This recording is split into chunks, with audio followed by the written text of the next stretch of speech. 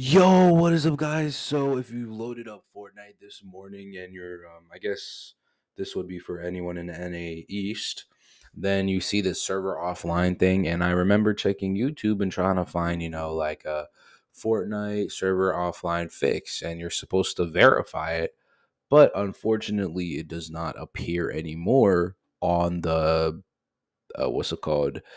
Uh, the screenshot. So you got to do a little more. So you got to click manage and that's it. And then you can verify your files. Um, that's literally it for the vid.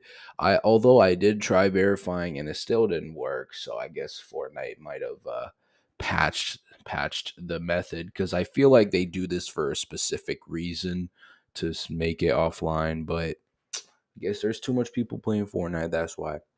But anyways, that's about it. I hope this helped you and peace.